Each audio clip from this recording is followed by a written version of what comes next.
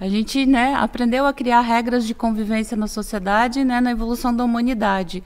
E hoje, quando a gente fala em regular um, um, sistema que faz parte do nosso mundo hoje Sim. em dia, as redes sociais, a internet, o que seja, né, as pessoas reagem. Por quê? Como regular? Mas a gente vive numa sociedade toda regulada. Por que, que esse nicho ficaria fora disso, uhum. né?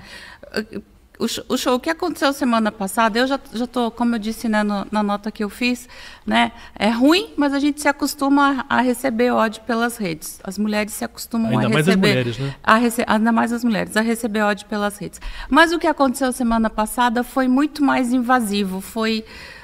É. Eu, eu não consigo nem te dizer. Aí, de manhã cedo, na terça-feira, eu passei quase que a madrugada trocando senha de quase todas as minhas coisas por segurança e tal. Quando eu acordei, eu olhei para o meu marido, apesar de tudo, eu falei, não é no ombro dele que... E eu estava com vontade de chorar. Eu falei, não é no ombro dele que eu tenho que chorar. Uhum. Aí eu só consegui chorar quando as meninas que trabalham, minhas amigas e que Sim. trabalham comigo, chegaram aqui que eu consegui chorar, porque só uma outra mulher para entender o que eu estava sentindo naquele momento, uhum. entendeu?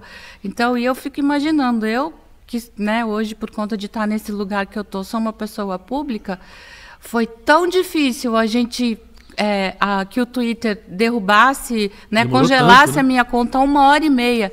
E eu, e eu falo, por uma hora e meia, o seu Elon Musk ficou muito mais milionário né, com, aqueles, com aquele ataque. Uhum. É essa que é a questão. Sim. A gente ganham precisa, dinheiro com essa agressividade, precisa, ódio. Né? É, não só a regularização das redes, mas a gente precisa discutir a monetização desse, dessas redes sociais, porque hoje não importa se é do bem ou do mal, eles ganhando dinheiro, tá tudo bem, né? As redes sociais hoje eu falo, eles estão acima de qualquer coisa, acima uhum. de regras, acima do, do famoso mercado, uhum. então eles estão lá flanando.